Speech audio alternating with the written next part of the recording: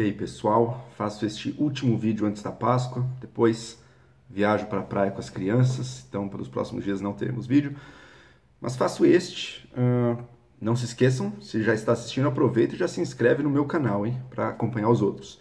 E faço esse sobre uma pergunta que muitas vezes surge, né? Como é que eu me defino uh, politicamente? Eu sou, sei lá, uma definição que está muito em voga aí, né? Que o pessoal sempre fala, você é liberal na economia e conservador nos costumes?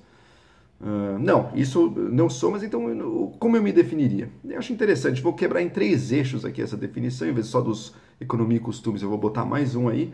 Mas vamos lá então, brevemente também. Na economia, como é que eu me defino?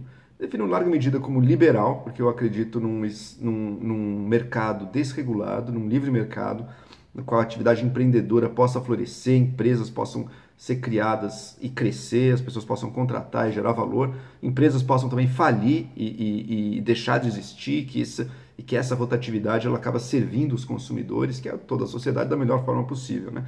Então, em larga medida liberal, mas também com esse viés social, tá? porque eu acho que tem um papel muito importante para o Estado aí, que é, especialmente no Brasil, né?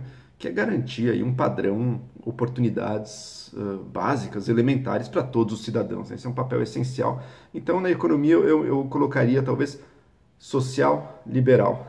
é o nome do partido do Bolsonaro, né? Vocês devem ter percebido isso. Mas, na verdade, é um termo que data de antes, né? Uh, um dos pais aí do, do social liberalismo, digamos assim, no Brasil, era o José Guilherme Melchior. Uh, tem uma obra interessante aí, uh, vale a pena conhecer. Se não me engano, até o PSL talvez tenha esse nome por causa dele, não tenho certeza. Mas enfim, hoje em dia, obviamente, o PSL não é isso, ele é aquele saco de gato ali. Mas ainda assim, o social liberalismo me parece uma coisa interessante, porque assim, é liberdade de mercado, deixa o mercado agir, mas garante para as pessoas uma rede de proteção. Né? Garante que ninguém vai estar totalmente desamparado na sociedade. Evidentemente, o Estado precisa cobrar impostos para isso, né? vai ter que, isso vai ter que ter, mas com uma economia bem mais livre. Então, é assim que eu me defino na economia, social liberal na economia.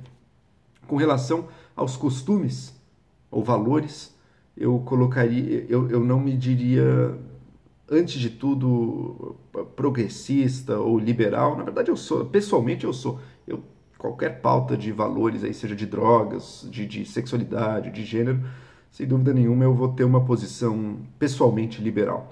Mas eu prefiro me definir como tolerante, porque eu acho que esse é o valor mais importante para a esfera social. Aí. Acho que muitos progressistas têm uma atitude completamente errada nessa questão de querer impor seus valores uh, e sua visão de mundo sobre o resto da sociedade, quando isso é impossível e também indesejável. Né? A gente, o, o mais importante é que as pessoas possam conviver entre si. Na verdade, a tentativa de impor, quando algum grupo de pessoas tenta impor sobre as outras seus valores, eles que são superiores, agindo com arrogância, isso gera uma reação. Né? Eu acredito, inclusive, que muito da, da, da guinada reacionária que a gente está vivendo agora é também uma reação a esse discurso muito agressivo do politicamente correto, dos valores progressistas, liberais de maneira geral, com os quais, pessoalmente, muitos deles, talvez não todos, mas muitos deles eu concordo. Mas eu acho que estão sendo trazidos para a esfera pública, às vezes, de uma maneira errada. Né? Por exemplo, sei lá, transexualidade ou os transgêneros. Eu não vejo problema nenhum, inclusive faço questão de tratar a pessoa aí com o, pronome, por exemplo, que ela se sente, que ela sente que melhor uh, se, se adequa a ela, tá? Eu não tenho problema nenhum a isso. E eu acho que toda a sociedade tem que, aí sim, tem que assumir e aceitar e afirmar o valor da tolerância. Olha, não importa como a pessoa escolheu viver, a gente vai dar o direito para ela isso. Ela não vai ser alvo de hostilização, muito menos de violência e nem de, de coação, nem nada disso. Então, acho que esse é o valor que a gente tem que calcar. Agora, precisa obrigar todo mundo a aceitar ou a celebrar a transexualidade por aí, meu, isso não vai acontecer. Então, acho acho inútil, que acho contraproducente quando o objetivo passa a ser esse, né? Muda, converter as pessoas a uma nova visão de mundo. Não, mas vamos garantir a tolerância. Esse eu acho que é o valor, portanto, nos costumes eu me diria tolerante. Pessoalmente liberal, mas socialmente tolerante aí nos, nos costumes.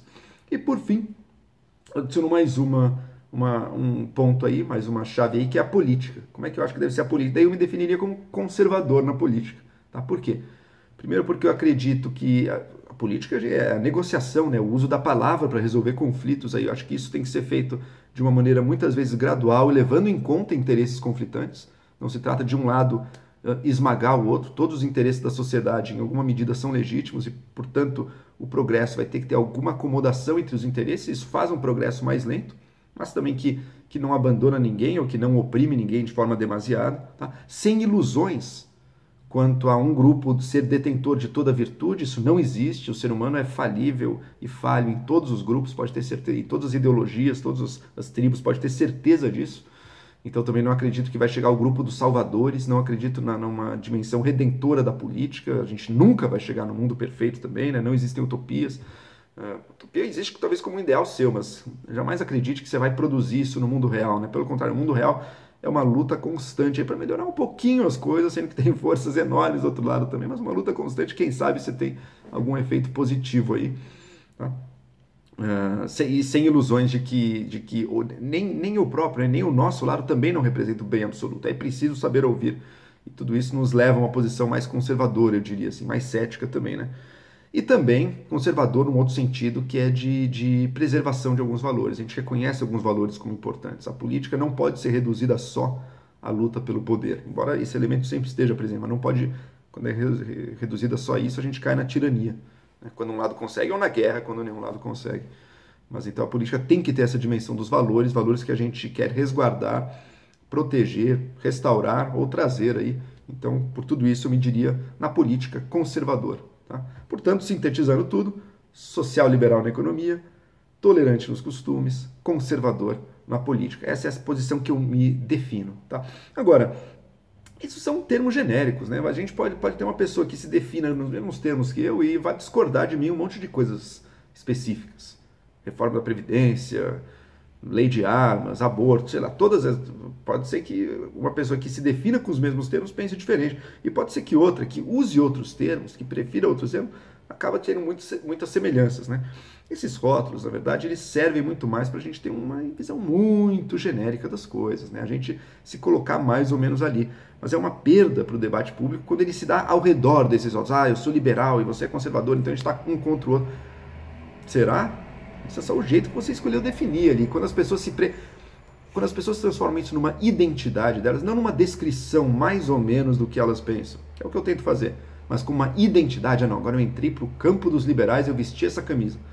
Daí provavelmente o, debate dela e a discussão dela já vai estar muito empobrecida aí, porque ela vai repetir os chavões que ela associa àquele time, àquele grupo, mas não vai agregar muito em termos de pensamento e nem de chegar a um entendimento aí que é, permita algum progresso, alguma alguma, algum compromisso político no entendimento dela com, com as pessoas com que ela dialoga, com que ela conversa, com que ela interage no dia a dia. Então é isso, acho legal saber uma, uma descrição distante do que cada um pensa, mas não vamos nos basear nisso, né?